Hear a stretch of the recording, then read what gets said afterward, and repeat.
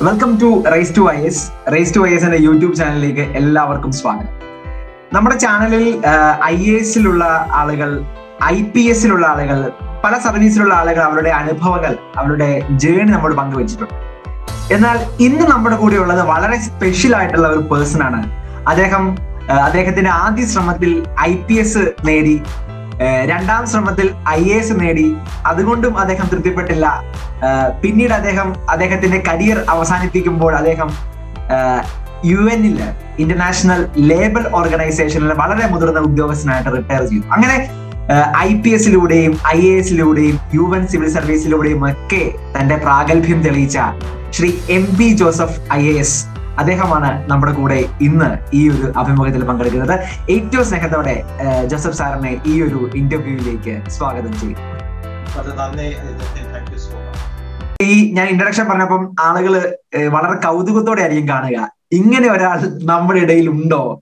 ഇതെങ്ങനെ സാധിക്കുന്നു? I P S I A S പിന്നെ യു എനിലെ ഒരു ഒരു ഒരു ജോലിയിലേക്ക് വരുന്നു. ശരി എങ്ങനെയാണ് സാറിന്റെ ഒരു ഒരു പ്രിപ്പറേഷന്റെ ഒരു തലം? അതെങ്ങനെയാണ് ഇത്തരം മേഖലയിലൂടെ സാർ കടന്നുപോയത്? അതൊന്ന് ഷെയർ ചെയ്യാം ഞാൻ ഐ പി എസ് ചേരുന്നതിന് മുമ്പ് ഞാൻ സ്റ്റേറ്റ് ബാങ്ക് ഓഫ് ഇന്ത്യയിൽ ഒരു ഒരു മത്സര പരീക്ഷ എഴുതിയിട്ട് ഞാൻ പ്രൊബേഷണറി ഓഫീസർ ആയിരുന്നു. അന്ന് probationary officer state bank of India എന്ന് പറഞ്ഞ ഇമ്പീരിയൽ ബാങ്ക് ആദ്യ സ്റ്റേറ്റ് ബാങ്ക് ഓഫ് ഇന്ത്യ ലോകത്തിലെ ഏറ്റവും വലിയ ബാങ്കാണ് ഇപ്പോഴും in terms of number of branches and staff അതിൽ ഞാൻ ഏതാണ്ട് പ്രൊബേഷണറി ഓഫീസറായിട്ട് കുറെ കുറച്ചു കാലം ഉണ്ടായിരുന്നു. ഒരു ഒരു ഓൾ ഇന്ത്യ കോമ്പറ്റേറ്റീവ് എക്സാം എഴുതിയിട്ടാണ് ഇത് കിട്ടുന്നത്. അത് അതിന്റെ ഒരു ഒരു ബാക്ക്ഗ്രൗണ്ട് കൂടി ഉണ്ട്. ഒരു ഒരു ബാങ്കിങ് ബാക്ക്ഗ്രൗണ്ട് ഉണ്ട്. എനിക്ക് ചെറുപ്പം മുതൽ തന്നെ എനിക്ക് കുറെ പ്രോത്സാഹനം കിട്ടിയിരുന്നു ഐ എസ് ഒക്കെ എഴുതാൻ വേണ്ടി. അത് ഇതിനകത്തൊരു ഭാഗമായിരുന്നു.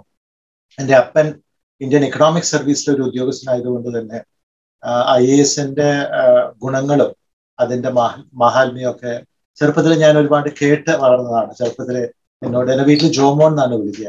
അപ്പൊ ജോമോൻ നീ ഐ എ എസ് എഴുതണം എന്നൊക്കെ പണ്ട് ചെറുപ്പത്തിൽ തുടങ്ങി പറഞ്ഞ് അത് തലയിൽ കയറിയിട്ടുണ്ടായിരുന്നു അത് തീർച്ചയായിട്ടും ഒരു ഒരു ഒരു പ്രോത്സാഹനമാണ്. പിന്നെ ഇതിന്റെ ഒരു ഒരു ഇതിലേക്ക് പോകാനുള്ള ഒരു ഭാഗം തീർച്ചയായിട്ടും അത് തന്നെയാണ്. പക്ഷെ അന്ന് എനിക്ക് ഐ എ എസിന്റെ ഗുണങ്ങളും ഒന്നും അറിഞ്ഞിരുന്നില്ല.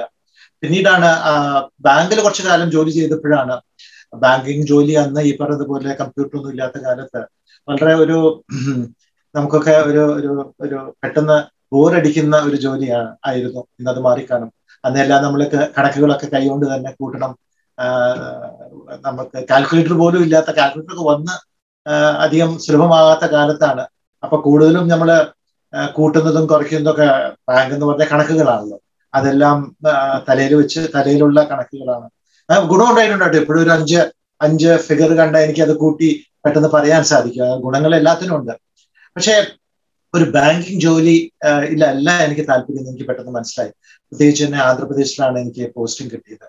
അതും അതിന്റെ ഒരു ഘടകമായിരുന്നു. ആന്ധ്രാപ്രദേശ് അന്ന് വളരെ പിന്നോക്കമുള്ള ഒരു സംസ്ഥാനമായിരുന്നു അതുകൊണ്ടാണ് ഈ ഐ എ എസ് എഴുതാനുള്ള താല്പര്യം വീണ്ടും മനസ്സിൽ മുളച്ചത്. ഒരുപാട് ശമ്പളം ഉണ്ടായിരുന്നു അന്ന് സ്റ്റേറ്റ് ബാങ്കിൽ അതിന്റെ ഒരു മൂന്നിലൊന്ന് ശമ്പളം മാത്രമേ അന്ന് സിവിൽ സർവീസ് ഐ എ എസിലുള്ളൂ. ഇപ്പൊ അതെല്ലാം മാറിപ്പോയി. ആ ആ ഒരു അപ്പൻ പറഞ്ഞു തന്ന പ്രചോദനവും. പിന്നീട് ഒരുപാട് ചെറുപ്പത്തിൽ തുടങ്ങി വായിക്കാനുള്ള ഒരു ഒരു ശീലമുണ്ടായിരുന്നു.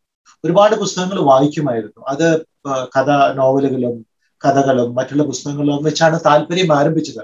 പക്ഷെ അത് പോകും തോറും ആ താല്പര്യം പല മറ്റുള്ള വേദി മറ്റുള്ള പുസ്തകങ്ങൾ വായിക്കാനുള്ള താല്പര്യവും മൊത്തത്തിലൊരു ഒരു അറിവും ജ്ഞാനവും കിട്ടാൻ. ഞാൻ ഓർക്കുന്നു ഞാൻ അന്ന് മദ്രാസിൽ ചെന്നൈയിലായിരുന്നു അപ്പൻ ജോലി ചെയ്തിരുന്നത്. അന്ന് സൈക്കിൾ ചവിട്ടാനൊന്നും അറിഞ്ഞൂടാ പക്ഷെ ഞാൻ സൈക്കിൾ ചവിട്ടാനായിട്ട് പഠിച്ചത് അന്ന് ലൈബ്രറി മൗണ്ട് റോഡിൽ. ഇന്നത്തെ അണ്ണാശാലയിൽ ഒരു വലിയ ലൈബ്രറി ലൈബ്രറി ശൃംഖല ഉണ്ടായിരുന്നു. അവിടെ ഒരു ചിൽഡ്രൻസ് കുട്ടികളുടെ ഒരു വിഭാഗം പോലും ഉണ്ടായിരുന്നു. അപ്പൊ ഞാൻ സൈക്കിൾ ചവിട്ടാൻ പഠിച്ചത് ലൈബ്രറി പോകാൻ വേണ്ടിയിട്ടാണ്. ലൈബ്രറിയിൽ ശനിയും ഞായറൊക്കെ ഒരു വാടകയ്ക്ക് സൈക്കിൾ എടുത്ത് മണിക്കൂറിന് എന്തോ ഒരു ഞാൻ മറ്റുമാണ് അമ്പത് പൈസ ഒരു രൂപ എങ്ങാണ്ടാണ് അത് എടുത്ത ലൈബ്രറി പോയി മണിക്കൂറുകൾ അവിടെ ചെലവ് കഴിക്കുമായിരുന്നു ചിൽഡ്രൻസ് ലൈബ്രറി മൂന്ന് നാല് പുസ്തകം നമുക്ക് ഒരാഴ്ചയ്ക്കോ രണ്ടാഴ്ചയ്ക്കോ മറ്റോ കടമെടുക്കാം അതുകൊണ്ടൊന്ന് വായിക്കും. അപ്പൊ വായനാശീലം ചെറുപ്പത്തിൽ തന്നെ ഉണ്ടായിരുന്നു. ഒരു സ്റ്റേജ് എത്തി ഞാൻ വായിക്കുമ്പോഴൊക്കെ ഈ പറഞ്ഞതുപോലെ വായിക്കാനുള്ള ശീലം അമ്മയപ്പനൊക്കെയാണ് കേട്ടോ എനിക്ക് തന്നത്. പക്ഷെ ഒരു ഒരു ഘട്ടത്തിൽ അവരും ഇത് വായി വായനശീലം കൂടിപ്പോയോ എന്നുള്ളൊരു സംശയം പോലും ഉണ്ടായിരുന്നു. ഉച്ചയ്ക്ക് ഊണ് കഴിക്കാൻ പെട്ടെന്ന് വരില്ല വിളിച്ചാൽ ചെല്ലില്ല കാരണം പുസ്തകം വായിക്കുന്ന ആ ചാപ്റ്റർ തീർക്കാനോ അല്ലെങ്കിൽ ആ പാരഗ്രാഫ് തീർക്കാനോ വേണ്ടിയിരിക്കും. അപ്പൊ അതും ഒരു പിന്നീട് നിനക്ക് വായന മാത്രമേ ഉള്ളൂ എന്നൊക്കെ അമ്മ പറഞ്ഞ് ഓർക്കുന്നുണ്ട്. പക്ഷെ അത് ഞാൻ പറഞ്ഞു വരുന്നത് ആ ഒരു വായനാശീലം എല്ലാം ഇതിന്റെ ഇതിന്റെ ഒരു ഭാഗമാണ്. നമ്മൾ ഏത് മത്സര പരീക്ഷയ്ക്ക് പോകുകയാണെങ്കിൽ പ്രത്യേകിച്ച് സിവിൽ സർവീസ് അല്ലെങ്കിൽ യു എൻ പോലത്തെ ജോലികൾ ഒക്കെ മനസ്സിൽ കണ്ടാണ് നമ്മൾ വളരുന്നതെങ്കിൽ വായനാശീലം വളരെ അത്യന്താപേക്ഷിതമാണ്. അതിപ്പോഴും ഇപ്പോഴും പുസ്തകങ്ങൾ പ്രിന്റഡ് ബുക്സിന് അതിന്റെതായ ഒരു വില നമുക്ക് കൽപ്പിക്കാൻ സാധിക്കും. പ്രിന്റഡ് മാത്രം ഞാൻ പറയില്ല. അപ്പൊ ഡിജിറ്റൽ ബുക്സ് വളരെ വളരെ വില കുറഞ്ഞ് നമുക്ക് കിട്ടാൻ സാധിക്കും. അതും അതിന്റെ ഒരു ഒരു ഡിജിറ്റൽ ബുക്സ് വായിച്ചാലും മതി തീർച്ചയായിട്ടും. പക്ഷെ വായനകൾ വേണം. നമ്മൾ ഈ വാട്സപ്പിൽ കിട്ടുന്ന ചെറിയ ഒരു തുമ്പ് മാത്രം ഒരു തുമ്പ് കിട്ടുമ്പോൾ അത് നമുക്ക് അത് കൂടുതൽ പഠിക്കാനുള്ള കൂടുതൽ ഉണ്ടാക്കണം. പക്ഷെ അത് മാത്രം പോരാ. ശരി. അപ്പൊ ഈ സിവിൽ സർവീസിന് ഒരു ഫസ്റ്റ് അറ്റംപ്റ്റ് കൊടുക്കുന്ന സമയത്ത് സാർ അപ്പൊ പി ജി കംപ്ലീറ്റ് ആയിട്ടുണ്ടാകുന്നല്ലേ അങ്ങനെയല്ലേ? ഡിഗ്രിക്ക് ശേഷം പി ജി അല്ല? അല്ല പി ജി ചെയ്യുമ്പോഴാണ് ഞാൻ സ്റ്റേറ്റ് ബാങ്കിൽ ഈ പരീക്ഷയ്ക്ക് പോയത്. അത് കിട്ടി. സ്റ്റേറ്റ് ബാങ്കിൽ ജോയിൻ ചെയ്തു. പെട്ടെന്ന് തന്നെ എനിക്ക് ഇത് ഒരു ബാങ്കിന്റെ ജോലിയല്ല എന്റെ ഭാവി എന്ന് എനിക്ക് പെട്ടെന്ന് തിരിച്ചറിയാൻ കഴിഞ്ഞതുകൊണ്ടാണ് ഞാൻ I A S civil service എഴുതാൻ തീരുമാനിച്ചത്. അപ്പോൾ ബാങ്കിൽ നിന്ന് ഒന്ന് രണ്ട് മാസം ലീവ് എടുത്തിട്ട് നാട്ടിൽ വന്ന് സിവിൽ സർവീസിന് വേണ്ടി പഠിച്ചു അവിടെ വെച്ചും ഞാൻ വായിക്കാൻ തുടങ്ങി. ഇതല്ല. അപ്പൊ രണ്ടാമത് ആദ്യമായിട്ട് എഴുതുന്നത് സ്റ്റേറ്റ് ബാങ്കിൽ ജോലി ചെയ്തപ്പോഴാണ് അത് എഴുതിയപ്പോഴാണ് ഐ പി എസ് കിട്ടിയത്.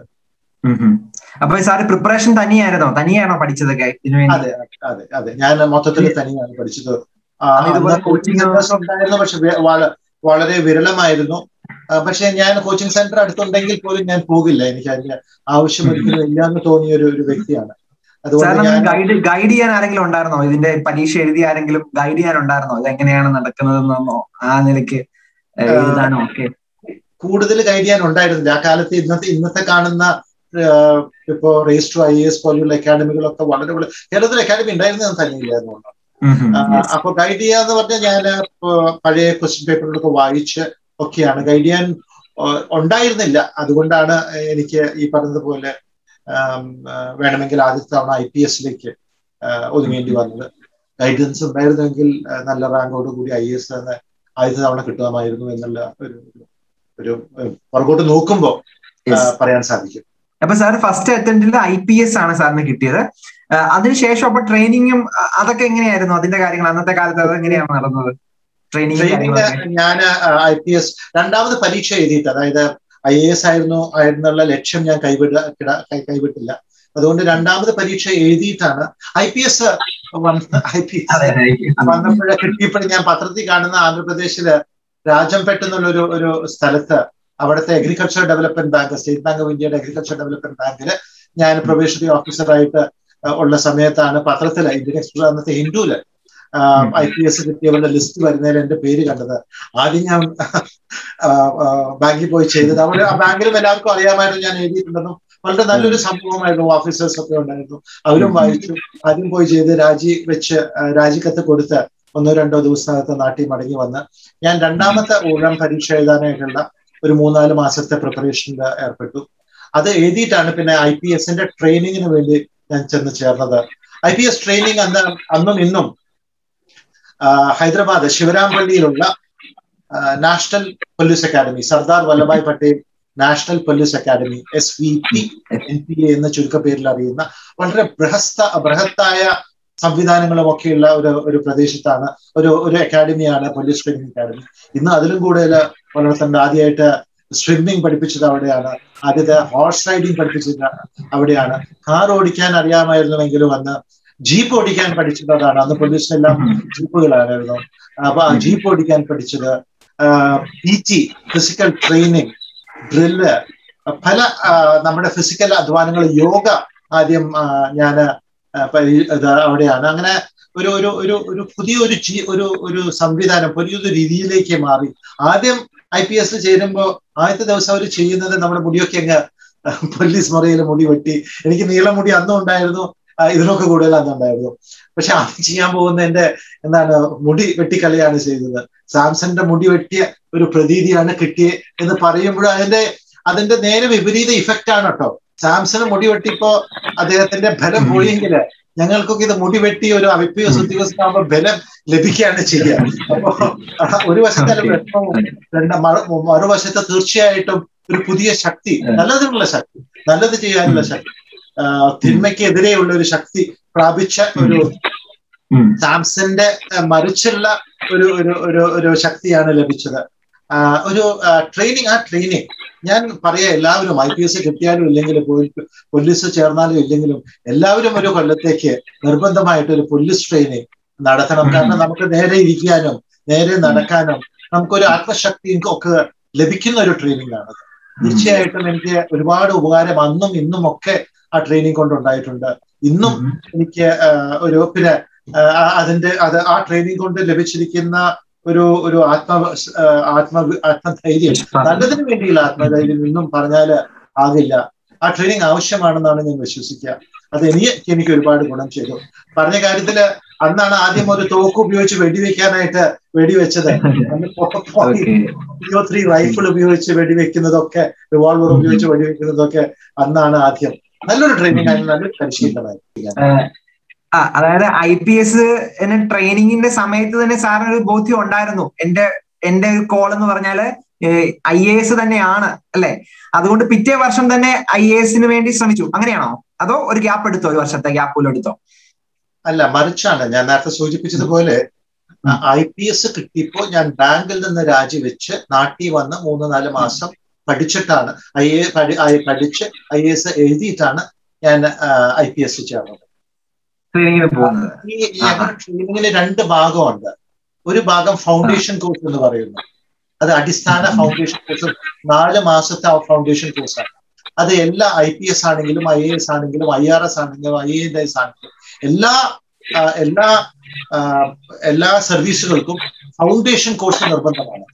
അടിസ്ഥാനമായിട്ട് എല്ലാ കോഴ്സുകൾക്കും നൽകുന്ന ഒരേ കരിക്കുലമുള്ള ഫൗണ്ടേഷൻ കോഴ്സാണ് അത് നാല് മാസത്തെയാണ്. അത് കഴിഞ്ഞിട്ടാണ് ഓരോ സർവീസിന്റെയും അതത് ട്രെയിനിങ് ആരംഭിക്കുന്നത്. ഐ എ എസിന് ഐ എ എസിന്റെ ട്രെയിനിങ് ഐ പി എസിന്റെ ട്രെയിനിങ് ഐ ആർ എസിന് revenue training Indian audit and account സർവീസിന് ഓഡിറ്റിംഗിന്റെയും അക്കൗണ്ട്സിന്റെയും ട്രെയിനിങ് ഇന്ത്യൻ റെയിൽവേ സർവീസിന് അതിന്റെ ട്രെയിനിങ് ആരംഭിക്കുന്നത്. അപ്പൊ ഈ നാല് മാസത്തെ ഫൗണ്ടേഷൻ ട്രെയിനിങ് എല്ലാവർക്കും ഒരുപോലെയാണ്. അപ്പൊ ഞാൻ ചെയ്തത് ഞാൻ ഈ ഫൗണ്ടേഷൻ കോഴ്സിന് ചേർന്നില്ല. ഫൗണ്ടേഷൻ കോഴ്സ് ചേരാതെ നാല് മാസം ഞാൻ പഠിച്ച് രണ്ടാം ഊഴത്തിൽ പരീക്ഷ എഴുതി. അതിനുശേഷം I P S training Sardar Vallabhbhai Patel അക്കാഡമിയിൽ ആരംഭിച്ചപ്പോഴാണ് ഞാൻ അവിടെ പോയിട്ട് ചേർന്ന് ഐ പി എസ് ട്രെയിനിങ് ഒരു വർഷത്തേക്ക് ആ പരിശീലനത്തിൽ ഭാഗവത്തായി. അപ്പൊ ചുരുക്കം പറഞ്ഞാൽ ഐ പി എസ് പോകുന്നതിന് മുമ്പ് റിട്ടേൺ ടെസ്റ്റ് കഴിഞ്ഞിരുന്നു. പിന്നീട് കുറച്ച് സമയം എടുത്തിട്ടാണ് അതിന്റെ റിസൾട്ട് റിട്ടേൺ ടെസ്റ്റ് റിസൾട്ട് വന്നതും. അന്ന് അന്ന് ഈ പറഞ്ഞ പോലെ പ്രിലിമിനറി ഇല്ല ഒരു ഒറ്റ പരീക്ഷയേ ഉള്ളൂ. അപ്പൊ ആദ്യം അന്ന് ആ ഒറ്റ പരീക്ഷ എഴുതിയിട്ട് പോയി. അഞ്ചാറ് അഞ്ചെട്ട് മാസത്തിന് ശേഷമാണ് റിസൾട്ട് വന്ന ഇന്റർവ്യൂവിനൊക്കെ വിളിക്കുന്നത്. ഇന്റർവ്യൂവിന് ഡൽഹി പോയി. ഇന്റർവ്യൂ കഴിഞ്ഞ് റിസൾട്ട് വന്നപ്പോഴേക്കും ഏതാണ്ട് ഒരു കൊല്ലം കഴിഞ്ഞിരുന്നു. ഈ ഒരു കൊല്ലത്തെ പരിശീലനത്തിനെ പറ്റിയാണ് ഐ പി എസിലെ പരിശീലനത്തിനെ പറ്റിയാണ് ഞാൻ നേരത്തെ സൂചിപ്പിച്ചത്. ശരി ശരി. ഈ അവിടുത്തെ അപ്പോഴത്തെ കാലത്ത് എക്സാം പാറ്റേൺ വളരെ വ്യത്യസ്തമായിരുന്നു അല്ലെ? ഒരു പരി ഒരു പേപ്പർ അങ്ങനെയാണോ? പ്രിലിംസ് ഒന്നും എം സി ക്യു ക്വസ്റ്റ്യൻസ് ഒന്നും അല്ലായിരുന്നു അന്നത്തെ ശൈലി അല്ലെ? അന്ന് ഈ പറഞ്ഞതുപോലെ ഇന്ന് ഏതാണ്ട് പത്ത് ലക്ഷം പന്ത്രണ്ട് ലക്ഷം പതിമൂന്ന് ലക്ഷം പേരൊക്കെ പരീക്ഷയ്ക്ക് അപ്ലൈ ചെയ്യുന്നുണ്ട്. അതിലത്തെ ഒരു നല്ല വിഭാഗം പ്രിലിമിനറിക്ക് ഇരിക്കുന്നുണ്ട്. അപ്പൊ ഇത്രയും പേർക്ക് അന്ന് അത്രയും ഇല്ല. ഏതാണ്ട് അഞ്ചാറ് ലക്ഷം പേരേ ഉള്ളൂ. അപ്പോ അന്ന് ഇന്നത്തെ പോലെ ഒരു പ്രിലിമിനറി പരീക്ഷ നടത്തി ഒരു സ്റ്റാൻഡേർഡ് വരാത്തവരെ ഒഴിപ്പിക്കുന്ന ഒരു സിസ്റ്റം ഉണ്ടായിരുന്നില്ല. അപ്ലൈ ചെയ്ത് ഈ പരീക്ഷയ്ക്ക് വേണ്ടിയുള്ള ഫീസ് അടയ്ക്കുന്നവരെ എല്ലാവരെയും ടെസ്റ്റിന് വിളിക്കും. അപ്പൊ ശരിക്കുള്ള പരീക്ഷയ്ക്ക് ഇന്ന് ഈ വലിയ നമ്പർ ഉള്ളത് കൊണ്ട് ഒരു ഒരു സ്റ്റാൻഡേർഡ് വരാത്തവരെയൊക്കെ പ്രിലിമിനറിയിൽ നിന്ന് ഒഴിവാക്കാണ്. ബാക്കിയുള്ളവർക്ക് മാത്രമാണ് മറ്റേ മെയിൻസ് എഴുതുന്നത്. അന്ന് എല്ലാവർക്കും നേരിട്ട് തന്നെ നേരിട്ട് തന്നെ മെയിൻസ് പരീക്ഷയ്ക്ക് പോകാണ് രീതി. മെയിൻസ് പരീക്ഷയിൽ അന്ന് ഈ പറഞ്ഞ പോലെ ഇന്ന് പ്രിലിമിനറിയിലുള്ള വിഭാഗങ്ങൾ അതിനകത്ത് ചേർത്തിരുന്നു. S A general knowledge general English ഇതൊക്കെ മെയിൻ പരീക്ഷയുടെ ഭാഗമായിരുന്നു. പക്ഷെ ഈ ഇത് മൂന്നും എഴുതിയിട്ട് ഒരു പ്രിലിമിനറി റിസൾട്ട് കാത്തേക്കേണ്ട ആവശ്യമില്ല ഇതെല്ലാം ഒരുമിച്ച് എഴുതുന്നു.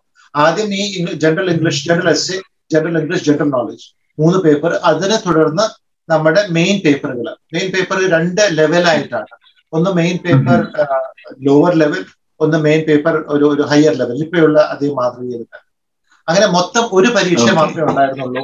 അതായത് വ്യത്യാസം. ശരി. അപ്പൊ അതിനുശേഷം സാർ ഐ പി എസ് ശേഷം ഐ എ എസ് രണ്ടാം ഘട്ടം എഴുതിയെടുക്കുന്നു. അപ്പോൾ മസൂരിയിലെ ട്രെയിനിങ് അല്ലെ? മസൂരി തന്നെയാണ് സാറിന് ട്രെയിനിങ് ഉണ്ടായിരുന്നത് അല്ലെ?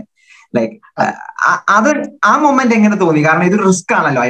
ഐ പി എസ് കിട്ടി എന്നത് ശരിയാണ്. പക്ഷെ രണ്ടാം ഘട്ടം ഐ എ എസ് റാങ്ക് മെച്ചപ്പെടണം എന്നൊരു സാധ്യത അത് വേണമെങ്കിൽ മറിച്ച് സംഭവിക്കാം. പക്ഷെ അത് അനുകൂലമായിട്ട് ഐ എസ് തന്നെ കിട്ടി. ശരിക്കും അപ്പോൾ ശരിക്കും നമ്മൾ ആ സ്വപ്നം ആ ഒരു മൊമെന്റിലായിരിക്കുമല്ലേ. നമ്മൾ ആ സ്വപ്നത്തിൽ എത്തിയ മൊമെന്റ് ഒരു പക്ഷേ അല്ലെ ആ ഒരു ഡേ ആയിരിക്കും അല്ലെ? ഐ പി ഐ എ എസിന്റെ റിസൾട്ട് വന്ന ആ ഡേ ആയിരിക്കും അല്ലെ? അങ്ങനെയാണോ? അതെ അതെ. തീർച്ചയായിട്ടും. ഞങ്ങളുടെ അന്നത്തെ ഐ പി എസ് ബാച്ചിൽ ഞാൻ പരീക്ഷയുടെ റിസൾട്ട് വന്നപ്പോഴും വളരെ സന്തോഷമായി. പറയേണ്ട ആവശ്യമില്ല. ഐ പി എസ് ഒരു നല്ല ഒരു സർവീസാണ്. പക്ഷേ ഈ പറഞ്ഞതുപോലെ ചിലർക്ക് ഓരോരുത്തർക്കും ഓരോ അഭിരുചികളുണ്ടല്ലോ. എന്റെ അഭിരുചി ഐ പി എസ് ഒരു പോലീസ് ഒരു പോലീസിന്റെ ആ വേഷ ഒരു റോളിലേക്ക് ഉള്ള അഭിരുചി എനിക്ക് ഉണ്ടായിരുന്നില്ല. അത് അത് അതുകൊണ്ട് ഒക്കെ ആയതുകൊണ്ടാണോ അങ്ങനെ തോന്നിയത്? ആയിരിക്കാം എനിക്ക് പക്ഷെ ഈ പറഞ്ഞതുപോലെ ഐ എ എസ് ആയിരുന്നു എന്റെ ആഗ്രഹം. അത് കിട്ടിയപ്പോൾ തീർച്ചയായിട്ടും നല്ല വളരെ സന്തോഷമുണ്ട്. പിന്നെ മസൂരി എന്ന് പറഞ്ഞാൽ ആ, ഹൈദരാബാദ് ഓഫ് കോഴ്സ് വളരെ നല്ലൊരു സ്ഥലമായിരുന്നെങ്കിലും മസൂരി ഒക്കെ ഒരു എന്താ പറയാ നമ്മളൊക്കെ സ്വപ്നത്തിൽ കാണുന്ന ഒരു ഒരു ഒരു ഹിൽ സ്റ്റേഷൻ അന്ന് യാത്രാ സൗകര്യങ്ങളൊന്നും ഇല്ലാത്ത സമയത്ത് മസൂരിയിൽ പോയിട്ട് രണ്ട് കൊല്ലമൊക്കെ ഒരു ഒന്നൊന്നര കൊല്ലം ചെലവ് കഴിക്കുക എന്ന് പറഞ്ഞ വലിയൊരു കാര്യമാണ്. ഒരു ഒരു യൂറോപ്യൻ നാട്ടിലേക്ക് ഗ്രാമത്തിലേക്ക് പോകുന്ന ഒരു പ്രതീതിയായിരുന്നു അന്ന് അന്ന് മസൂരിയിൽ പോകുന്നത്. മലപ്രദേശം ഹിമാലയ ഹിമാലയൻ മലകളുടെ എന്താ പറയാ ഫുഡ് ഹിൽസിൽ ഫുട് ഹിൽസ് അല്ല ഏകദേശം ഏഴായിരം ഏഴായിരം. അടി ഉയരത്തിലുള്ള ഒരു സ്ഥലം. വളരെ സൗന്ദര്യം സ്വിറ്റ്സർലൻഡിനൊക്കെ വെല്ലുന്ന ഒരു തരം സൗന്ദര്യം ഒരു വശത്ത്. മറുവശത്ത് ഈ അക്കാഡമിയിൽ ഞങ്ങളുടെ ഒരു പ്രത്യേക ജീവിതം. ആദ്യത്തെ ഐ എ എസുകാർ എല്ലാവരും ഒരുമിച്ച് ഉള്ള ആ ഒരു ജീവിതം. ആദ്യം ഈ ഫൗണ്ടേഷൻ കോഴ്സ് നാല് മാസം ചെയ്തു. ഫൗണ്ടേഷൻ കോഴ്സ് മറ്റുള്ള സർവീസിൽ നിന്നുള്ള ഉദ്യോഗസ്ഥന്മാരും ട്രെയിനിങ്ങിലും എല്ലാവരും ഉണ്ടായിരുന്നു. അതുകൊണ്ട് എല്ലാ സർവീസിലുമുള്ള ഉദ്യോഗസ്ഥന്മാരെ പെട്ട് പരിചയപ്പെടാനായിട്ട് സാധിച്ചു. പിന്നീട് ആണ് ഐ എസ് ട്രെയിനിങ് തുടങ്ങുന്നത്.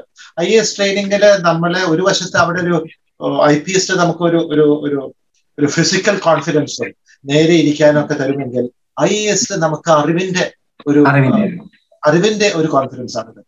ഏത് സബ്ജക്റ്റുകളും നിയമം തന്നെ. നിയമമാണല്ലോ ഭരണത്തിന്റെ അടിസ്ഥാനം. നിയമത്തിന് വിരുദ്ധമായിട്ട് നമുക്ക് ഭരണത്തിൽ ഒന്നും ചെയ്യാൻ സാധിക്കില്ല എന്നാണല്ലോ എന്നാണ് നമ്മുടെ ഭരണഘടന സംവിധാനത്തിൽ ഒരു ഒരു കോൺസ്റ്റിറ്റ്യൂഷണൽ ഡെമോക്രസിയിൽ ലോ ഇസ് സുപ്രീം അതുകൊണ്ട് നിയമത്തിന് ഒരുപാട് നിയമത്തിന്റെ എല്ലാ വശങ്ങളും പഠിപ്പിക്കാനായിട്ട് ഒരുപാട് ഊന്നൽ നൽകുന്നു. അതോടൊപ്പം തന്നെ ഒരു പത്തിരുപത് വ്യത്യസ്ത വിഷയങ്ങൾ political science current affairs history അന്ന് കമ്പ്യൂട്ടർ ആരംഭിക്കുന്നുള്ളൂ അപ്പൊ അതിന്റെ ഒരു ചെറിയ ഒരു ഒരു വളരെ വളരെ ലളിതമായിട്ട് കമ്പ്യൂട്ടർ എന്താണെന്നുള്ള മനസ്സിലാക്കി തരാൻ അല്ലാതെ പ്രാക്ടിക്കൽ ട്രെയിനിങ് ഒന്നുമില്ല. മനസ്സിലാക്കി തരുന്നത്. അങ്ങനെ പല എല്ലാ എല്ലാ വിഷയങ്ങളും അഡ്മിനിസ്ട്രേഷൻ ജില്ലാ അഡ്മിനിസ്ട്രേഷൻ പോളിസി മേക്കിംഗ് ഭക്ഷ്യ സുരക്ഷ എല്ലാ വിഷയങ്ങളും നമുക്ക് പഠിപ്പിച്ച് നമ്മളെ അറിവിന്റെ ഒരു കോൺഫിഡൻസ് മറുവശത്ത് ഐ പി എസിൽ ഒരു ഫിസിക്കൽ കോൺഫിഡൻസ് ആണ് പറഞ്ഞിരുന്നെങ്കിൽ ഇവിടെ അറിവിന്റെ ജ്ഞാനത്തിന്റെ ഒരു കോൺഫിഡൻസ് ഇത് രണ്ടും കൂടി വരുമ്പോൾ തീർച്ചയായിട്ടും ഒരു നല്ല ഐ എ എസ് ഉദ്യോഗസ്ഥനാകാൻ എനിക്ക് സാധിച്ചു എന്ന് ഞാൻ വിശ്വസിക്കുന്നു. അപ്പൊ സാറിന്റെ ഐ എസ് സാറിന്റെ ഒരു പ്രത്യേകത ഐ എസ് ആണ് എന്ന് മാത്രമല്ല sir Kerala cadre I S officer ആയിരുന്നു എറണാകുളം ജില്ലാ കളക്ടറൊക്കെ ആയിരുന്നു. ആ ഒരു യാത്രയിൽ ഏറ്റവും ലൈക്ക് ഒരു മനസ്സിനോട് ഏറ്റവും അടുത്ത് നിൽക്കുന്ന ഒരു മൊമെന്റ് ഏതായിരിക്കാം? ഈ ഒരു ജില്ലാ ജില്ലയിലെ അധികാരിയായിരിക്കും ആകുന്ന ആ ഒരു സമയമൊക്കെ എനിക്ക് തോന്നുന്നു സാറ് ഒരേ സമയം മേയർ കൂടി ആയിരുന്നു അല്ലെ? അങ്ങനെയല്ലേ സാറ്? എനിക്ക് തോന്നുന്നു അതൊക്കെ ഒരു വളരെ കൗതുകമുള്ള ഒരു കാര്യമാണ് അല്ലെ? ശരിക്കും ആ ഒരു മൊമെന്റ് ആ ഒരു കാലഘട്ടത്തെ എങ്ങനെയാണ് ഓർത്തെടുക്കുക? ഐ എസ് ആകുന്ന ആ ഒരു സമയത്തെ? എന്റെ ജീവിതത്തിലേക്ക് ഞാൻ തിരിഞ്ഞു നോക്കുകയാണെങ്കിൽ പ്രത്യേകിച്ച് ആ ഒരു കളക്ടറും മേയറുമായിരുന്ന കാലഘട്ടം വളരെ നല്ല കാര്യങ്ങൾ ചെയ്യാൻ സാധിച്ചതിന്റെ ഒരു ആത്മസംതൃപ്തി ഉള്ളൊരു കാലഘട്ടം. പിന്നീട് ലേബർ കമ്മീഷൻ ആയിരുന്നപ്പോഴും പിന്നിൽ യു എനിൽ പോയപ്പോഴൊക്കെ ഒരുപാട് നല്ല കാര്യങ്ങൾ ചെയ്യാൻ സാധിച്ചു. യു എനിൽ ഉദാഹരണത്തിന് ഏതാണ്ട് പത്ത് ലക്ഷം കൊച്ചുകുട്ടികൾ കൊച്ചുകുട്ടികൾ ഞങ്ങളുടെ ഈ പ്രോജക്റ്റിന്റെയും ഈ എന്റെയും ഒക്കെ ഇടപെടൽ ഇല്ലായിരുന്നെങ്കിൽ ദാരിദ്ര്യത്തിന്റെ ഏറ്റവും ദാരിദ്ര്യത്തിന്റെ ദാരിദ്ര്യത്തിൽ കിടക്കുന്ന കുടുംബത്തിലെ കുട്ടികളെ ഏതാണ്ട് പത്ത് ലക്ഷം കുട്ടികളെ നല്ലൊരു ജീവിതത്തിലേക്ക് ഉയർത്താൻ സാധിച്ചു എന്നുള്ള സംതൃപ്തി ഉണ്ട് അത് പിന്നീട് പിന്നീട് വരാം. പക്ഷെ ഈ കളക്ടർ എന്നുള്ള ആ പദവിയിൽ മേയർ കൂടിയുള്ള ജോലി കൊച്ചി മേയറും വന്നതുകൂടി ഒരുപാട് ഗുണങ്ങൾ ചെയ്യാൻ സാധിച്ചു. നല്ലൊരു ടീമും എനിക്കുണ്ടായിരുന്നു. ഇന്നിപ്പോ ഈ ഇടയ്ക്ക് റിട്ടയർ ചെയ്തു പോയ വിജയ് കുര്യൻ നമ്മുടെ സിയാലിന്റെ എം പി ആയിട്ട് അദ്ദേഹം എന്റെ എന്റെ കീഴിലുള്ള ഒരു സബ് കളക്ടർ ആയിരുന്നു. അതേപോലെ ഇപ്പോഴും മറ്റേ നമ്മുടെ എബ്രാഹാം ചീഫ് സെക്രട്ടറി റിട്ടയർ ചെയ്ത ഇപ്പോ എന്തോ? K M Abraham. K M Ebrahim. K M Abraham മറ്റൊരു സബ് കളക്ടർ ആയിരുന്നു പിന്നെ കുടുംബശ്രീയിലൊക്കെ പേരെടുത്ത Vatsala. Kumari K B Vatsala. Pathanamthitta ജില്ലയുടെ ആദ്യത്തെ ജില്ലാ കളക്ടറായിരുന്നു. അവർ വേറൊരു സബ് കളക്ടറായിരുന്നു പിന്നെ ഏലിയാസ് ജോർജ് പിന്നീട് പല രംഗത്തും ശോഭിച്ച കൊച്ചി മെട്രോയുടെ നടപ്പിലാക്കി തന്ന ഏലിയാസ് ജോർജ് കോർപ്പറേഷനിലെ എന്റെ കോർപ്പറേഷൻ സെക്രട്ടറി ആയിരുന്നു. അങ്ങനെ ഒരു നല്ലൊരു team Kurian K M Ebrahim Elias George മത്സരകുമാരി എല്ലാവരും ഒരു നല്ല ടീം ഉണ്ടായിരുന്നു. അതുകൊണ്ട് ഒരുപാട് നല്ല കാര്യങ്ങൾ ചെയ്യാൻ സാധിച്ചു. ഇന്നിപ്പോ ഞാൻ പഴയ കാര്യങ്ങളാണെങ്കിലും ഇന്നിപ്പോ കാണുന്ന എം ജി റോഡ് ഈ നാലുവരി പാത ആയിരുന്ന എം ജി റോഡ് ഞങ്ങളുടെ കാലത്ത് അങ്ങനെ പടന്നതാണ് പിന്നീട് ഓഫ് കോഴ്സ് ഇപ്പൊ മെട്രോ വന്നു. അന്ന് ആദ്യമായിട്ട് കൊച്ചി കോർപ്പറേഷന്റെ മേയറായിരുന്ന കാലത്ത് കളക്ടറിന്റെ അധികാരങ്ങളും ഏലിയാസിന്റെ ജോർജിന്റെ ആ ഒരു ഒരു ഒരു മിടുക്കും ഒക്കെ ഉപയോഗിച്ചുകൊണ്ട് അന്ന് സെവന്റി ഫീറ്റ് റോഡ് എന്നറിയപ്പെടുന്ന ഒരു റോഡായിരുന്നു അത്. അതിന് ആദ്യം കേരളത്തിന് നാല് വരി പാത ആക്കാനും സെൻട്രൽ മീഡിയം പണിയാനും സൈഡുകളിലെ ഡ്രെയിൻ പണിയാനും ഫുട്പാത്ത് അതിന്റെ മേലെ ചിപ്സ് ഇട്ടിട്ട് ഇന്നത്തെ പോലത്തെ ടൈൽസ് ഇല്ല എന്നിട്ട് ചിപ്സ് ഇട്ടുകൊണ്ട് പിന്നീട് സോഡിയം വേപ്പർ ലാബ് ലൈറ്റുകൾ എക്ലാന്റിസ് ജംഗ്ഷൻ തുടങ്ങി എടപ്പള്ളി വരയ്ക്ക് ഇടാനുമുള്ള ഒരു ഒരു പല പ്രോജക്റ്റുകളും. അങ്ങനെ ഒരു നല്ലൊരു പ്രോജക്റ്റ് വളരെ ചുരുങ്ങിയ കാലം കൊണ്ട് ഏതാണ്ട് പന്ത്രണ്ട് പതിനാല് മാസം കൊണ്ട് ഏറ്റവും കുറവ് തടസ്സം അവിടുത്തെ ബിസിനസ്സുകാർക്ക്. കാരണം ഇത് പണിയുമ്പോൾ അവിടുത്തെ ബിസിനസ് കുറയുമല്ലോ അത് ഏറ്റവും കുറഞ്ഞ തടസ്സം വരുത്തിക്കൊണ്ട് ചെയ്യാൻ സാധിച്ചത് ഒന്ന് മാത്രം. ഒരുപാട് ഒരുപാടുണ്ട്. അവിടെ ആദ്യമായിട്ടാണ് എല്ലാ ദിവസവും രാവിലെ എല്ലാ റോഡുകളും തൂത്ത് വാരുന്ന ഒരു സംവിധാനം. അതിന്റെ മലിനീകരണങ്ങളൊക്കെ കൊണ്ടുപോയി ലോറികളിൽ നിക്ഷേപിക്കാനുള്ള സംവിധാനം. ഭംഗിയായിട്ട് അതുകൊണ്ട് രാവിലെ എല്ലാ റോഡുകളും ക്ലീൻ ചെയ്യുന്ന ഒരു സിസ്റ്റം മുന്നോട്ട് കൊണ്ടുവന്നു. ഇന്ന് കാണുന്ന ഇപ്പൊ പൊളിച്ചിട്ടിരിക്കുന്ന ചിൽഡ്രൻസ് പാർക്ക് അന്ന് ആദ്യമായിട്ട് ഞങ്ങൾ പറഞ്ഞ children's traffic park Subhash Chandrabose road എന്ന് വീതി കൂട്ടിയിരിക്കുന്നത് അന്ന് ചെയ്തതാണ് കൊച്ചിൻ കോർപ്പറേഷൻ ഓഫീസ് മുമ്പിൽ സുഭാഷ് ചന്ദ്ര ബോസ് പാർക്കും ഒക്കെ ഒരുപാട് വിപുലീകരിക്കാൻ സാധിച്ചു. അങ്ങനെ എണ്ണി പറയുകയാണെങ്കിൽ ഒരുപാട് കാര്യങ്ങളുണ്ടായിരുന്നു. പക്ഷെ അന്നത്തെ ഏറ്റവും മഹത്വമായ എനിക്ക് സംതൃപ്തി തന്നാന്ന് ശ്രീ ഹർമീസ് തരകൻ പിന്നീട് D I director general of പോലീസും റോയുടെ ചീഫുമായിട്ട് അദ്ദേഹമായിരുന്നു കൊച്ചു ഈ ഈ സെൻട്രൽ റേഞ്ച് എന്ന് പറയുന്ന ആ ആ ഭാഗത്തിന്റെ ഭാഗത്തിന്റെ ഡി ഐ അപ്പൊ അന്ന് ഏറ്റവും എടുത്തു പറയാവുന്ന ഒരു കാര്യം അന്നാണ് ആദ്യമായിട്ട് മാർപ്പാപ്പ. ആദ്യമായിട്ടും ചരിത്രപരമായിട്ട് ഇതുവരെ പിന്നെ ഉണ്ടായിട്ടില്ല ആദ്യമായിട്ട് അന്നത്തെ മാർപ്പാപ്പ ജോൺ പോൾ പിന്നീട് വിശുദ്ധനായി പ്രഖ്യാപിച്ച ജോൺ പോൾ രണ്ടാമൻ മാർപ്പാപ്പ കേരളത്തിൽ വന്നത്. കൊച്ചിയിലാണ് താമസിച്ചത് നാല് ദിവസവും മറ്റും കൊച്ചിയിൽ താമസിച്ചത് കൊണ്ട് ഞാൻ മേയറും കളക്ടറും ആയതുകൊണ്ട് പലവട്ടം അദ്ദേഹം ഓരോ തവണ ഹെലി വന്നപ്പോഴും പോയപ്പോഴും ഒരു ഓരോ തവണ തൃശ്ശൂർക്ക് ഹെലികോപ്റ്റർ പോയപ്പോഴ് പിന്നെ ഹൈദരാബാദ് സോറി കോട്ടയത്ത് പോയപ്പോഴൊക്കെ സ്വീകരിക്കാനും സ്വീകരിക്കാനും പോകുമ്പോൾ അവിടെ ഒരുപാട് തവണ നാലഞ്ച് തവണ നേരിട്ട് കാണ കാണുവാൻ അനുഗ്രഹിക്കാനൊക്കെ കാണാൻ പറ്റിയിട്ട് ഫോട്ടോ അവിടെ ഉണ്ടെന്ന് തോന്നുന്നു ശരിയാണ്. ഈ അന്നത്തെ ഒരു ഒരു ഒരു ഒരു ഫോട്ടോ ആ കാണുന്ന മാർപ്പാപ്പ കൈപിടിച്ച് അദ്ദേഹത്തിന്റെ കൈയും എന്റെ കൈയും തമ്മിൽ നിറത്തിന് ഒരുപാട് വ്യത്യാസമുണ്ട്. പിന്നീട് പിന്നീട് അദ്ദേഹം മാർപ്പാപ്പ മരിച്ചതിന് ശേഷം നിങ്ങൾക്ക് അറിയാവുന്ന പോലെ വിശുദ്ധനായിട്ട് പ്രഖ്യാപിച്ചു. അതൊരു വലിയ ഭാഗ്യമായിട്ടാണ് Shri Hormis Tharakan D I G range ഞാൻ കളക്ടർ മേയർ അങ്ങനെ ഒരു ഒരുപാട് നല്ല ഗുണം. അതുകൊണ്ട് ഞാൻ ഈ പറയുന്നതൊക്കെ ഒരു ഐ എ എസ് പോലത്തെ സിവിൽ സർവീസിൽ കയറിയാൽ എന്തുമാത്രം കാര്യങ്ങൾ തീർച്ചയായും. നമ്മളൊന്നും ഇത് അല്ലെ? പ്രിപ്പയർ ചെയ്യുന്ന സമയത്തൊന്നും നമ്മൾ സ്വപ്നത്തിൽ പോലും കാണാത്ത ചില കാര്യങ്ങൾ അല്ലെ? നമ്മൾ സംഭവിക്കുമ്പോഴുള്ള എക്സൈറ്റ്മെന്റ് അല്ലെ? അതല്ലേ ഏറ്റവും വലിയ കാര്യം അല്ലെ? തീർച്ചയായും. ഒട്ടും പ്രതീക്ഷിക്കാത്ത എല്ലാവരും ഞാൻ പറയാം എല്ലാവരും റോമിൽ പോയിട്ട് മാപ്പാപ്പനെ കാണാൻ പോപ്പിനെ കാണാൻ പോകും. പക്ഷെ മാപ്പാപ്പ എന്നെ കാണാൻ ഇവിടെ വന്നു ആയിരിക്കൊക്കെ തമാശ രൂപേണ പറയാറുണ്ട്. ഒരു ചെറിയ ആത്മസംതൃപ്തി. യെസ് ഞാൻ മനസ്സിലാക്കിയതോളം സാർ കേരളത്തിൽ ഏറ്റവും കൂടുതൽ കാലം ലേബർ കമ്മീഷണർ ആയിട്ടുള്ള ദിവസം കൂടിയാണ് അല്ലെ? ശരിക്കും എന്താണ് ശരിക്കും ലേബർ എനിക്കൊന്ന് സാറിന്റെ ഏറ്റവും സാറിന്റെ ഒരു ഡൊമൈൻ നോളേജ് ഏറ്റവും കൂടുതലുള്ള മേഖല ലേബർ ആണ്. പിൽക്കാലത്ത് യു എനിലേക്കൊക്കെ സാർ എത്തിപ്പെട്ടത് ഞാൻ മനസ്സിലാക്കുന്നത് ആ ലേബറുമായിട്ട് ബന്ധപ്പെട്ട് തന്നെയാണ്. ശരിക്കും എന്തായിരുന്നു ശരിക്കും ലേബർ കമ്മീഷണർ എന്ന ഒരു പോസ്റ്റ് അതെങ്ങനെയാണ് സാറിന്റെ ലൈഫിൽ ഒരു വലിയൊരു ടേണിംഗ് പോയിന്റ് ആയി മാറിയത് എങ്ങനെയാണ്? സത്യം പറയുകയാണെങ്കിൽ എറണാകുളം ജില്ലാ കളക്ടറായിട്ട് ഇങ്ങനെ ശോഭിച്ചുകൊണ്ടിരിക്കുന്ന സമയത്താണ് ഒരു സുപ്രഭാതത്തിൽ എന്നെ ലേബർ കമ്മീഷനായിട്ട് മാറ്റുന്നത്. അന്ന് എനിക്ക് വലിയ ഒരു ദുഃഖം ജീവിതത്തിൽ ഒരു ഒരു സിവിൽ സർവീസ് ഉദ്യോഗസ്ഥന്റെ ജീവിതത്തിന്റെ ഭാഗമാണ് ഏറ്റവും അധികാരമുള്ള പൊസിഷനിൽ നിന്ന് തീരെ അധികാരമില്ലാന്ന് നമുക്ക് തോന്നുന്നതും പക്ഷെ ഒരുപാട് നല്ലത് ചെയ്യാൻ സാധിക്കുന്ന പൊസിഷനിലേക്ക് മാറ്റുക മാറുക എന്നത് എനിക്ക് അന്ന് മാറി മാറിയപ്പോഴേ എനിക്ക് വലിയ ദുഃഖം തോന്നി. പക്ഷെ ഞാൻ ഏറ്റവും അധികം എന്റെ ജീവിതത്തിൽ പിന്നീട് ശോഭിക്കാൻ സാധിച്ച ഒരു പൊസിഷൻ ആയിരുന്നു ലേബർ കമ്മീഷണർ എന്നുള്ളത്. ഏതാണ്ട് അഞ്ചഞ്ചര കൊല്ല അഞ്ചര കൊല്ലത്തോളം ലേബർ കമ്മീഷണർ ആയിരുന്നു. മൂന്ന് മന്ത്രിസഭകളുടെ കാലയളവിൽ എനിക്ക് തുടരാൻ സാധിച്ചു. എന്നെ ലേബർ കമ്മീഷനാക്കി പോസ്റ്റ് ചെയ്തത് ശ്രീ കരുണാകരൻ മുഖ്യമന്ത്രിയായിരുന്ന കാലത്താണ്. ആറു മാസത്തിന് ശേഷം ഇലക്ഷൻ വന്നു. യു ഡി എഫ് തോറ്റു എൽ ഡി എഫ് നയനാര് മന്ത്രിയായിട്ട് മുഖ്യമന്ത്രിയായിട്ട് വന്നു. നയനാര് മന്ത്രിസഭ ഏതാണ്ട് അഞ്ചു കൊല്ലം ഉണ്ടായിരുന്നു. ആ അഞ്ചു കൊല്ലം കഴിഞ്ഞിട്ട് വീണ്ടും ഇലക്ഷൻ വന്ന് വീണ്ടും കരുണാകരൻ വന്നതിന് ശേഷമാണ് അത് കഴിഞ്ഞിട്ട് ഒരു മൂന്ന് നാല് മാസത്തിന് ശേഷമാണ് ഞാൻ ലേബർ കമ്മീഷൻ സ്ഥാനത്ത് നിന്ന് മാറിപ്പോയത്. അന്നത്തെ ഐ എ എസ് ഉദ്യോഗസ്ഥന്മാരിൽ ഈ നയനാർ മന്ത്രിസഭയുടെ അഞ്ചു വർഷക്കാലവും മൊത്തത്തിൽ മാറ്റം കൂടാതെ ഇരുന്ന ഏക ഉദ്യോഗസ്ഥനാണ് ഞാൻ. വിചാരിച്ച ഞാൻ നിങ്ങൾക്ക് അറിയാവുന്ന ഞാൻ ശ്രീ കെ എം മാണിയുടെ മരുമകനാണ്. അപ്പൊ ഞാൻ വിചാരിച്ചത് അന്ന് K M Mani U D എഫിന്റെ കൂടെ വയനാട് വന്നപ്പോ പ്രതിപക്ഷത്തേക്ക് മാറി.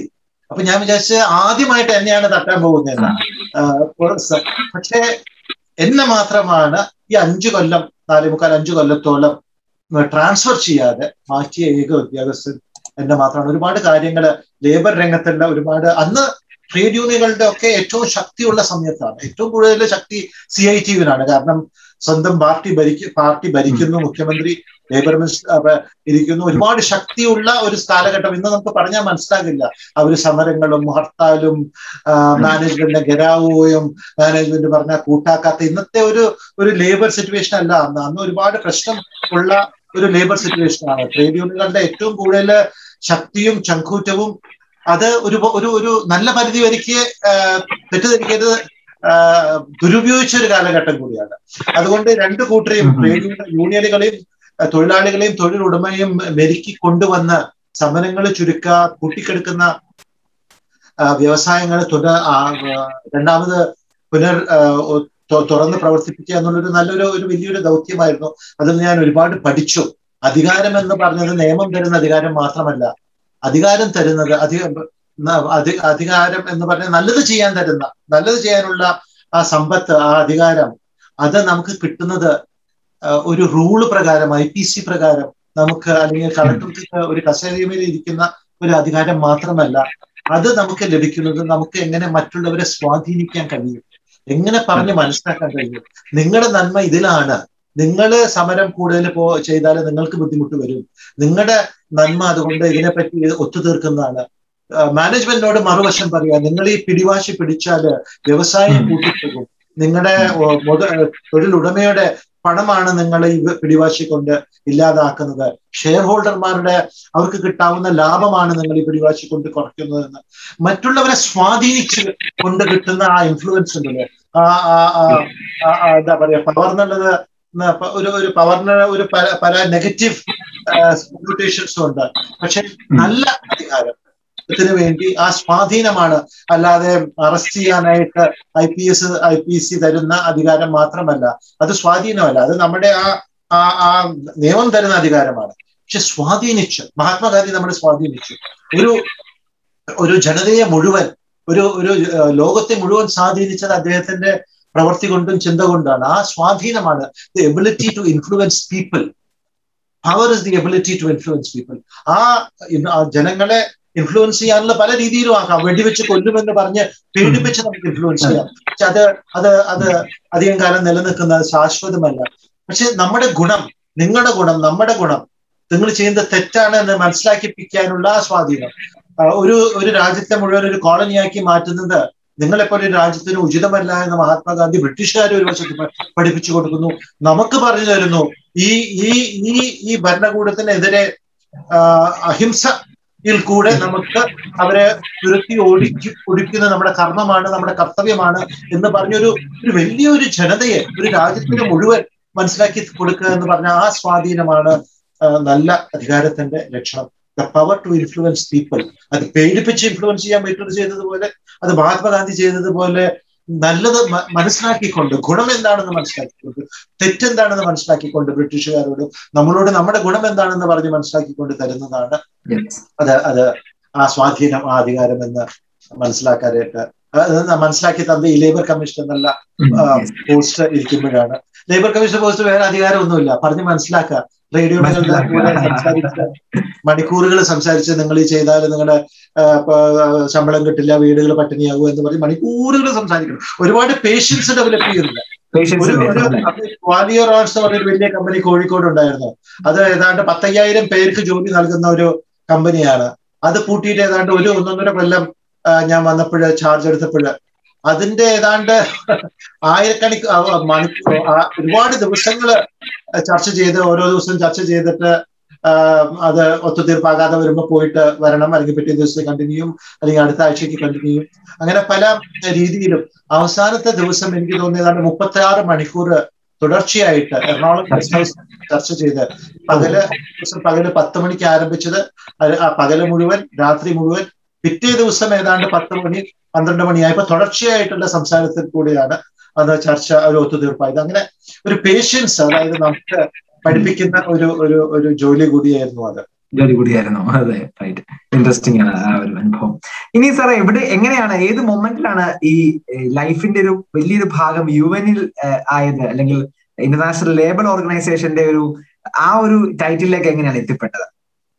അതിന് ഞാൻ പൂർണമായിട്ടും അന്നത്തെ എന്റെ ലേബർ സെക്രട്ടറി ആയിരുന്ന Shri C P Nair sir അദ്ദേഹം പിന്നീട് അദ്ദേഹം പിന്നീട് ചീഫ് സെക്രട്ടറി ആയി. പിന്നെ കഴിഞ്ഞ അടുത്ത കാലം വരയ്ക്ക് ഭരണപരിഷ്കാര കമ്മീഷന്റെ ശ്രീ അച്യുതാനന്ദൻ ചെയർമാനായ കമ്മീഷൻ മെമ്പർ സെക്രട്ടറി കൂടിയായിരുന്നു. അദ്ദേഹം നമ്മളെ സംബന്ധിച്ചോളം അദ്ദേഹം വളരെ സ്പെഷ്യലാണ് അദ്ദേഹം റേസ് ടു വൈസിന് മെന്റർ കൂടിയാണ് സി പി ഐ എസ്. അദ്ദേഹമായിട്ടാണ് ലേബർ സെക്രട്ടറി എന്റെ അദ്ദേഹത്തിന് ഒരു ഒരു ഗുണമുണ്ട്. ഒരു ദോഷമുണ്ട് ഗുണദോഷമുണ്ട്. അദ്ദേഹത്തിന് ഈ പറഞ്ഞതുപോലെ അദ്ദേഹത്തിന്റെ സ്റ്റാൻഡേർഡ് ജോലി ജോലിയുടെ സ്റ്റാൻഡേർഡ് ക്വാളിറ്റി വളരെ വളരെ വളരെ ഉയർച്ചയുള്ള ഒരു ഒരു സ്റ്റാൻഡേർഡാണ്. അത് സ്വന്തമായിട്ടും അദ്ദേഹം സ്വന്തമായിട്ടും അങ്ങനെയാണ് ആ ക്വാളിറ്റി എല്ലാം നിലനിർത്തുന്നതാണ്. മറ്റുള്ളവരിലും അത് പ്രതീക്ഷിക്കുന്നു.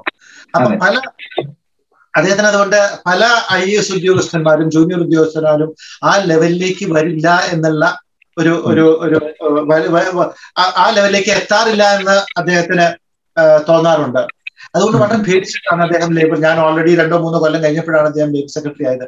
അതുകൊണ്ട് വളരെ ഭയന്നാണ് ഞാൻ അദ്ദേഹത്തിന് ആദ്യമായിട്ട് ചെന്ന് കണ്ടത്. പക്ഷെ അദ്ദേഹത്തിന് എന്നോട് ഒരു പ്രത്യേക വാത്സല്യവും വാത്സല്യം എന്ന് പറഞ്ഞാൽ ഞാൻ നന്നായിട്ട് ജോലി എടുക്കുന്നു എന്നുള്ളൊരു ബോധ്യം കൊണ്ടുള്ള വാത്സല്യവും തോന്നി. എന്നെ ഒരുപാട് പ്രോത്സാഹിപ്പിച്ചു. എന്റെ എനിക്ക് പല അഡീഷണൽ ചാർജുകളും തന്നു. O D E P C എന്ന സ്ഥാപനം നമ്മുടെ സർക്കാർ നഴ്സുമാരെയൊക്കെ സൗദി അറേബ്യയിലേക്കൊക്കെ ജോലിക്ക് നഴ്സുമാരെയും ഡോക്ടർമാരെയും ഒക്കെ റിക്രൂട്ട് ചെയ്യുന്ന. സർക്കാരിന്റെ കീഴിലുള്ള റിക്രൂട്ട്മെന്റ് ഏജൻസിയുടെ എം ഡി ആക്കി additional charge Kerala headload workers welfare fund board എന്ന് പറയുന്ന ബോർഡ് ആരംഭിപ്പിച്ച് ആരംഭിക്കാനുള്ള പ്രാഥമിക എല്ലാ അതിന്റെ ആക്ടിന്റെ നടപ്പിലാക്കാനുള്ള എല്ലാ പ്രാരംഭ ഉത്തരവാദിത്വം എനിക്ക് തന്നു. അതിന്റെ ആദ്യത്തെ ചെയർമാൻ ആക്കി എന്നെ പോസ്റ്റ് ചെയ്തു. അങ്ങനെ പല ഉത്തരവാദിത്തങ്ങളും തന്നു അദ്ദേഹമാണ് ആദ്യം എന്നോട് പറഞ്ഞത് ഇങ്ങനെ ഐ എൽ ഒയിൽ നിന്ന് അപേക്ഷ ക്ഷണിച്ച് ചൈൽഡ് ലേബറിന്റെ ചിൽഡ്രൻസ് എഡ്യൂക്കേഷനെ പറ്റിയുള്ള ഒരു ഒരു സംവിധാനത്തിന്റെ ഒരു അപേക്ഷ ക്ഷണിച്ചുകൊണ്ട് ഒരു കടലാസ് വന്നിട്ടുണ്ട്. അദ്ദേഹം വിളിച്ചിട്ട് പറഞ്ഞു ജോസഫ് ആണ് ഏറ്റവും പറ്റിയ ആൾ. ഇന്ത്യയിലത്തെ ഏറ്റവും അഞ്ചഞ്ചര കൊല്ലം അന്ന് ജോലി ചെയ്ത് അഞ്ചു കൊല്ലം കഴിഞ്ഞിരുന്നു ജോലി ചെയ്തിട്ട്. ലേബർ കമ്മീഷൻ ആയിട്ട് ഇത്രയും എക്സ്പീരിയൻസ് ഉള്ള ആരും ഉണ്ടാകില്ല ജോസഫ് അതിനെ അപ്ലൈ ചെയ്യാന്ന് പറഞ്ഞു നിർബന്ധിച്ച് അപ്ലൈ ചെയ്യിപ്പിച്ച്.